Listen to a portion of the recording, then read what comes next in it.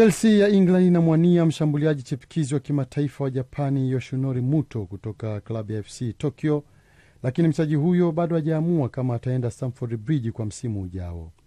Taarifa kutoka jarida moja la Japan la kiodo limesema kuwa Muto mwenye miaka 22 amecheza mara 11 na kufunga mabao matatu katika michezo minne aliyoanza kwenye msimu mpya wa ligi kuu ijulikanayo kama J League.